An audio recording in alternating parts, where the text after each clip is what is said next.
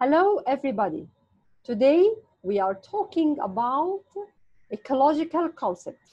Ecological concept.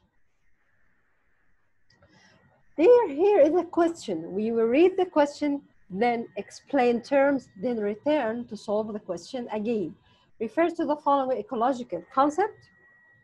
Here are definition, parasitism, commensalism, mutualism, competition, predation. These definitions for all each terms, we will find in our question which one of them are suitable for these terms.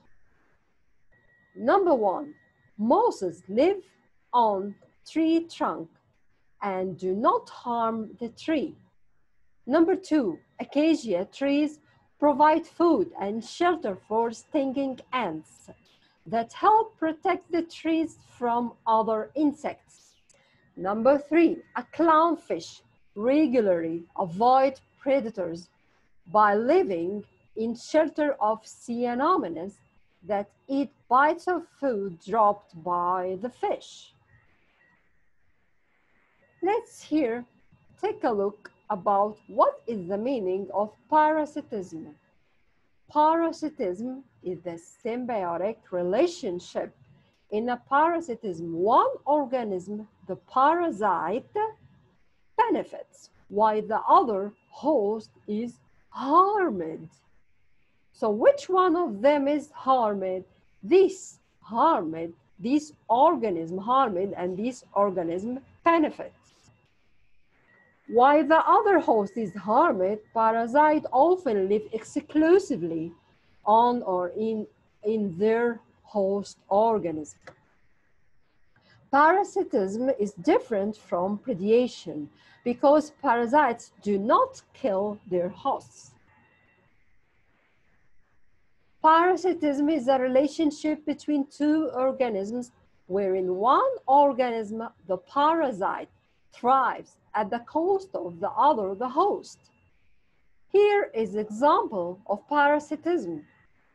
This organism is get benefit from this organism is that a human and human gets harmed.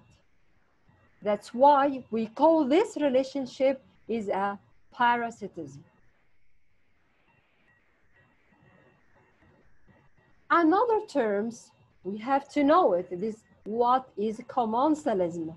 Commensalism is a type of relationship between two living organisms in which one organism benefits from the other without harming it. Let's see this example.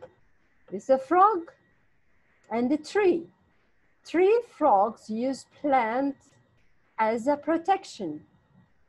So frog get protected from the plant, but the plant didn't harm it from the frog. Another example, cattle egret eats the insect steered by the cattle when they are grazing. So this organism didn't harm it from egret, but this organism gets benefits. Another example, golden jackals once they have been expelled from the pack Why will trail a tiger to feed one to feed one that remains of its kill.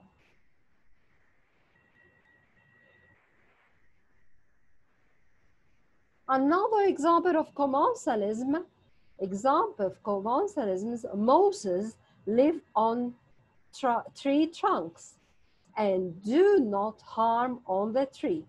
So the tree didn't harm it from the Moses, but the Moses get the benefits from the tree. So that's why we call it commensalism.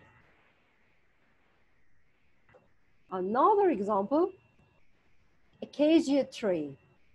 Acacia tree provide food and shelter for stinging ants that help protect the trees from other insects.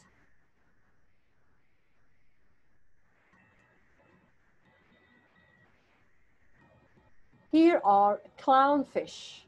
Clownfish regularly avoid predator by living in shelters of sea anemones that eat a bit of food dropped by fish. So, so the relationship between both are mutualism.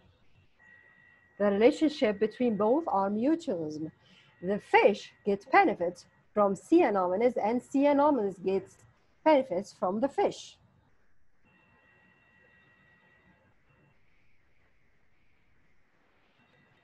So let's here solve this question. Number one, A, parasitism. This term, parasitism, which of them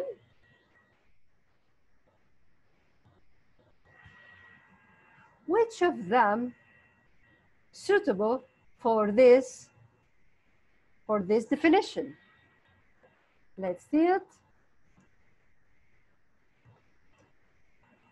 Moses live on the tree trunk and do not harm the tree. No, this is not suitable for parasitism. Acacia tree provide food and shelters for stinging ants that help protect the trees from other insects. This is not suitable for parasitism too. A clownfish regularly avoids predator by living in shelter of, the, of sea anemones that eats bits of food dropped by the fish. This is not suitable for this term too. Let's turn to B, B commensalism. Commensalism, Moses live on the tree trunk and do not harm the tree. So that's it. That says commensalism because the tree didn't harm from the Moses, but Moses benefits from the tree. So we call this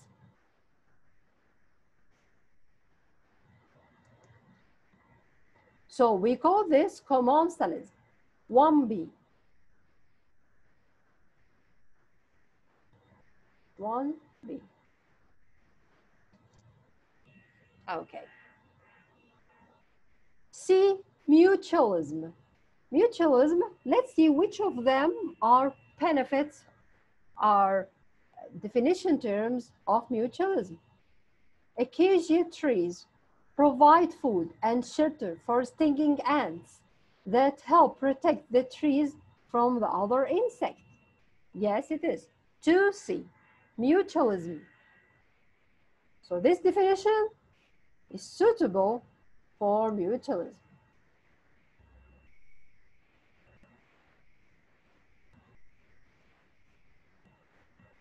So here we can call one B to solve it and 2C, 2C. Okay. Remain number three, a clownfish regularly avoid predators by living in shelter of sea anemones that eat bits of food dropped by the fish. Sea anemones, let's hear concentrated. Sea anemones eats bit of food dropped by fish. So both of them get benefits from each other.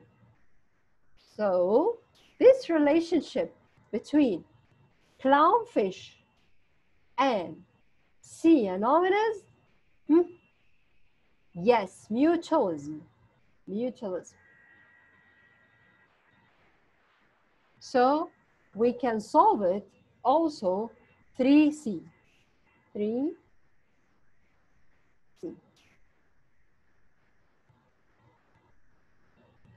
Okay, students. Now we solve example that questions, you can see it in the in set questions. Thank you and study well. Good luck.